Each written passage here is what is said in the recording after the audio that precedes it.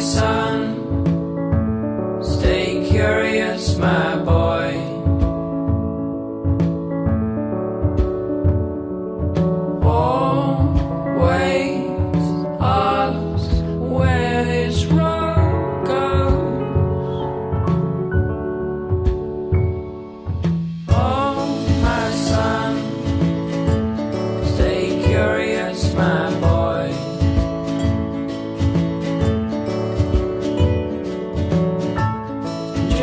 Outside your door.